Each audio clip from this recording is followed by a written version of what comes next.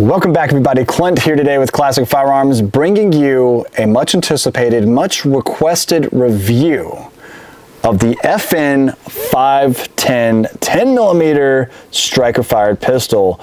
And this is one that has been requested by so many of you on the live streams, on the comment section, anytime we host any type of badass pistols, you're like, hey, where's, where's the 510 review? Clint, we know you have it. We follow you on social. We see you shooting it. Give us the 10 millimeter pistol review. And here it is and it's sweet.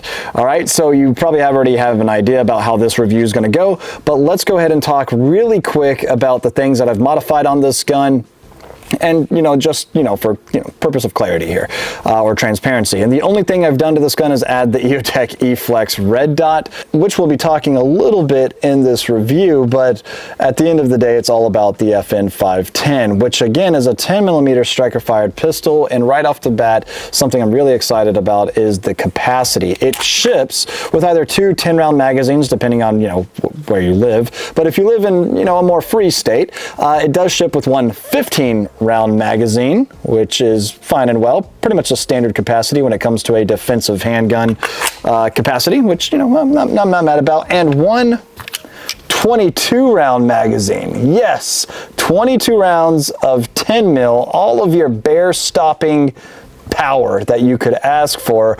And yes, this is going to be an expensive video to make because all I have with me today is jacketed hollow point. You're welcome. And something to think about as well 10 millimeter is quite the round. Now, obviously it was too much of a round for the FBI, so they had to shorten it a little bit, add a little less powder, and make ultimately 40 cal, you know, so Kaya. Uh, with that being said, however, if you're thinking about 10 mil for defensive use. If it's good enough to stop a bear, then it's probably good enough to stop most uh, criminals today. Just, throwing that out there. All right, great. Now, before we head to the range, we're going to go ahead and talk a little bit about the features of the FN510, like its completely ambidextrous controls. That includes your ambidextrous mag release, which I can do with just my thumb that you see right here, and of course with you know, on the right hand side. You don't have to swap parts or anything. It's ambidextrous as it is, which is nice, but one thing I'll talk about on the range is how that might be a hindrance if you're trying to do some reloads. Another thing that's cool is it does have an ambidextrous uh, slide lock, slide release, which you see right here on the right hand side and right here on the left hand side. You know, so easy enough to manipulate, as you can tell. And here it is traditionally, and here it is southpaw. Easy enough, right? Great, cool. Something I like about the slide release is the fact that it is uh, it's hidden, right? You're not going to be accidentally manipulating this or anything like that. Notice the material raised around the slide release. That definitely helps with protecting it and making sure it's not getting accidentally hit or manipulated. Easy enough. 4.71 inch threaded barrel. Awesome. Love that. Picatinny rail underneath. Oversized trigger guard in case you're shooting this with gloves. If you're not shooting it with gloves and you're worried about gripping it, don't worry. It's got stippling for days in different directions and patterns all over the gun, which is pretty cool. The front of the grip, you'll notice, is stippled for your gripping pleasure, as is the back back strap, which also comes with a variation of back straps. I've got this more flat-faced one, which feels really good in the hand. How will it feel when we shoot? I'll let you know shortly. But you've also got additional stippling on the side here, which is, you know, aggressive enough. It's not as aggressive, let's say, the stippling on my FNX 45 Tactical, uh, which, you know, we could probably do a comparison video, but, you know, FN 545 striker fired, the FNX 45 tacticals hammer fired, there you go. Uh, but with that, you'll notice the stippling still good enough. And then we've also got some really fine stippling happening right up here where your thumb rests. It just feels good. They did a good job with it. Another really favorite feature of mine of, of this gun is uh, the sights. You've got some beautiful sights over here. I'm pretty much gonna, in order for this to focus, I'm probably gonna have to flag myself, but hey, we're clear. So there you go and beautiful sight picture. You'll notice we've got the E-Flex turned on. Obviously the red dot's a lot more crisp and fine to the shooter, uh, but there you go. I love those suppressor height tritium sights that it comes with, just like what's on my FNX. Just beautiful sight picture. Love those, all right? And with that, the trigger. The trigger is something that I fell in love with at SHOT Show this past year, NRA Meter SHOT Show, one of them. I think they released this gun at SHOT Show this past year. And you know, this was this was my experience when I walked into the FN booth. They said, "Hey, here's the 510 and 545. We know, we know you're excited about it, but we also heard your criticism of the 509's trigger and how gritty it was, and, and it just wasn't your favorite. And I was really surprised that they said that. And that's not just my voice. I think that's a lot of our general consensus about the 509's trigger. Cool gun, feels good, trigger's a little gritty. They could have done a better job with it. And that's exactly what they did with the 510 and 545. So let's go ahead and take a look at the trigger that we've got on here. You're going to notice that it is just a hinged safety. You can see that in action right there. And if I slowly start to apply some pressure, bam, there it is. No grit, just a smooth take up and then reset and release solid. They did a great job on the trigger of this gun. Nicely done. Now what do you say we head on out to the range? Let's go shoot some rounds with it.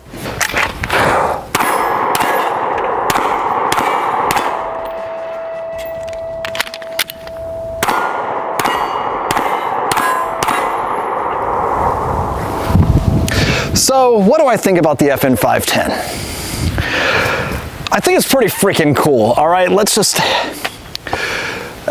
it's gonna be hard for me to not fanboy over this gun. This is a gun, I don't say this too often, I'm buying this gun. Straight up, this is making its way into my, maybe not my everyday carry.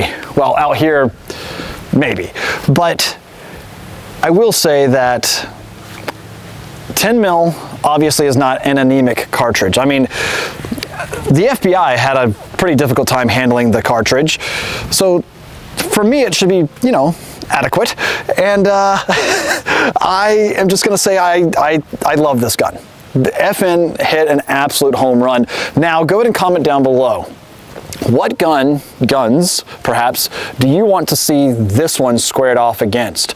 And I'm talking, well, Obviously the SIG X10, uh, the Glock 10 mil. There's another one, I'm uh, Smith & Wesson, I think. So just let me know down in the comments. What comparison do you want to see the 510 against? Now, the only detractor is the price of this gun, which when you think about it isn't too terrible. It's coming in just shy or actually just above $1,100 uh, MSRP. So let me know what you guys think. Do you think that's a good price? For me personally, the quality, the feel of this gun, the fact that I can get 22 rounds of 10 mil uh, plus one, I'm gonna say I think it's worth it. I'm gonna say I think it's worth it, and you're talking to the guy that owns an FNX 45 Tactical. I own the FNP 45 Tactical, and the reason I didn't want to compare it to the, or you know, shoot the FN 545 is because 45s everywhere. 10 mil, I think, is making a comeback in a large way, and I'm excited to see it because it is an impressive little round. And so there you have it. The FN 510, ladies and gentlemen, I am a fan, feels great, and the controls are easy enough to manipulate with the gloves. I thought I was gonna have a little bit more of an issue manipulating that magazine release with gloves on because it does protrude a little bit out the opposite side when you press the magazine release. And since I have to change my grip just ever so slightly to actually manipulate the mag release, I'm not having that issue. Is it bad, however, that you're having to change your grip? If you practice with it, train with it, probably not that big of a deal, right? So here we are out here. This is actually my first time running it with gloves, by the way. I've been running it uh, just, you know, bare hands uh, up until today, but it is a, a little, little cold. You can probably see some of the snow from last night on the ground still. Uh, and again, I, I'm really impressed with what FN did. So good job, FN. I give this one a very high score, 10 out of 10. Get it? And just excellent work.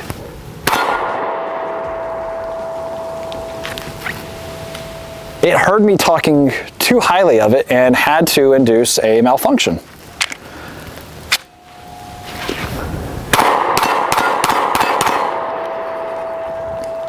I'm trying to think, did I, did I cause that malfunction somehow with, with my grip on the gun?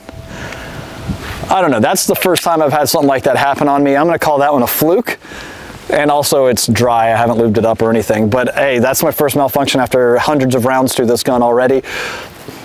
So there you have it. Guys, again, comment section, let me know what you think about the FN 510. Are you as excited for it as I am? Will you be running out to pick one up yourself? Like this one's, this one's got my name on it. What's the serial number on it? Ah, No 42069. Maybe next time.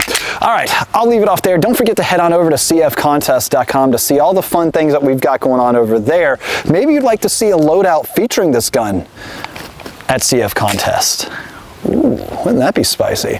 Let me know what you guys think about that. And also, there's a couple other things I want to remind you of. Uh, SHOT Show is coming up. And if you're not subscribed to the channel, but you're here just to see a pretty good review about this FN510, get subscribed because we are the premier coverage and source for all of your SHOT Show updates. We do is we give you as close to live coverage as possible. So of the SHOT Show floor. I mean, you're going to see interviews with uh, perhaps celebrities, but also, of course, all the manufacturers and manufacturer reps out there showing off the latest and greatest that their manufacturer, their company has to offer.